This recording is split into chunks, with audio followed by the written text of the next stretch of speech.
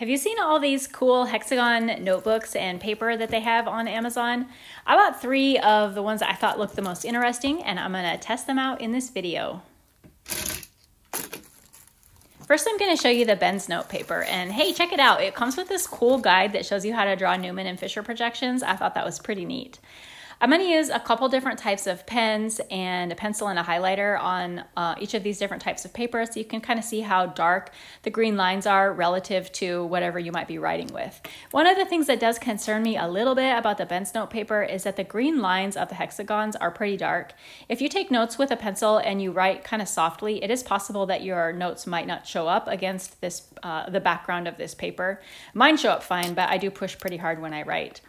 I didn't have a hard time writing neatly, even though there are not any horizontal lines on the Benznote paper. I was able to center my words just kind of in between the hexagons. It worked out pretty well.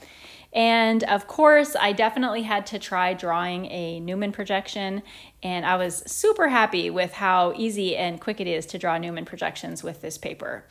And then in terms of bleed through on the back, Benznote paper is really great. Like, uh, not very much bled through. You can see the highlighter a little bit, but it turned out really well. Next, I'm going to show you this notebook that's a combination of lines and hexagons. From the cover, I was expecting the left half of each page to be lined and the right half of each page to be hexagons, but you can see that that's not the case. And I was kind of disappointed by that. And then I got even more disappointed when I started drawing and I realized, oh my gosh, the hexagons are sideways. Like, oh, I do not like that at all. And it also made the straight chain molecules end up looking really awkward as well. And I just did not enjoy drawing my molecules uh, sideways like this. It just really bothered me. I um, am trying really hard to come up with something nice to say right now, but I'm struggling. And for some reason, I didn't even like the way my Newman projection turned out on this paper. At this point, I think I just have a bad attitude about it. Also, the bleed through on this paper was really bad. Check it out. Last, I'm going to show you a notebook that is a combination of hexagons and horizontal lines right on top of each other.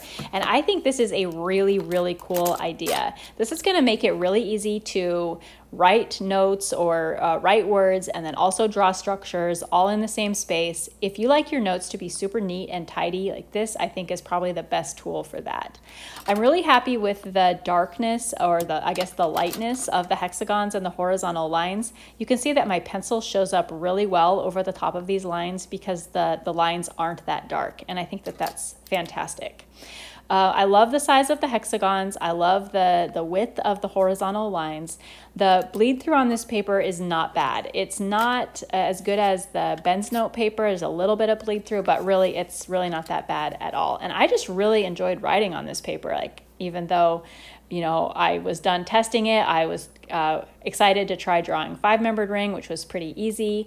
Uh, also took a couple of attempts at drawing a chair conformation really failed miserably. I'm sure there's a technique for drawing chair conformations.